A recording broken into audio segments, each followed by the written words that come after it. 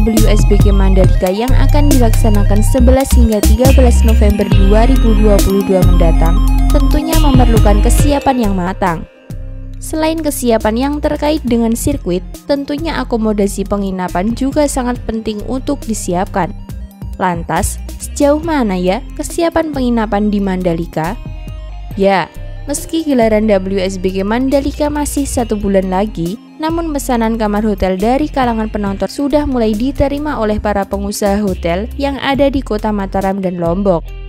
Untuk penonton WSBK Mandalika, beberapa sudah mulai booking hotel ada kami terima pesanan lumayan, kata General Manager Hotel Lombok Raya 1 Gusti Lanang Patra. Meski tidak seheboh saat event MotoGP Mandalika Maret lalu, namun pelaksanaan WSBK Mandalika diyakini akan memberikan dampak kenaikan okupansi hotel yang ada di kota Mataram dan Lombok.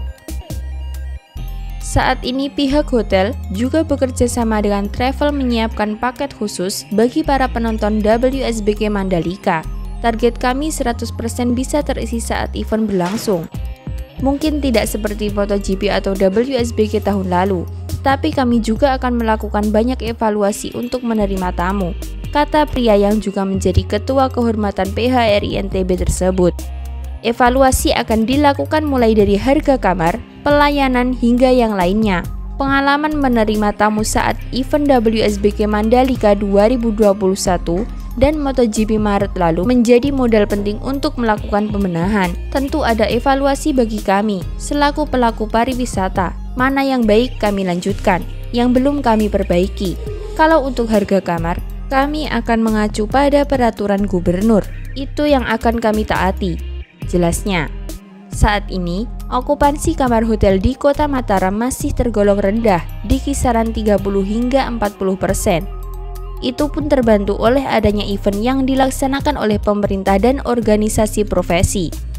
Diharapkan dengan adanya event WSBK Mandalika, okupansi hotel di Mataram bisa melejit kembali. Di tempat terpisah, Ketua Asita NTB Dewantoro Umbu Joka mengatakan pihaknya saat ini sudah mempersiapkan diri menggait tamu dari kalangan penonton WSBK Mandalika.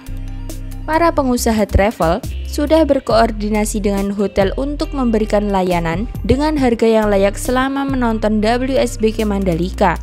Kalau dari hotel, kenaikan harga kamar kami rasa normal saat event berlangsung.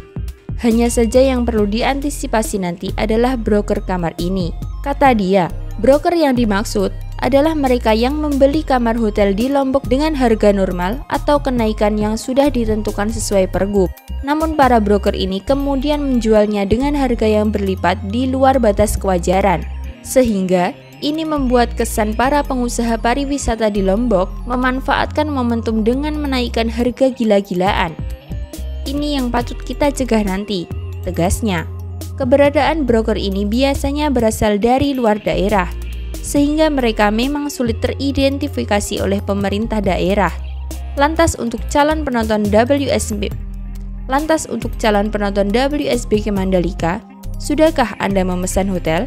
Yuk buruan pesan sebelum full booking.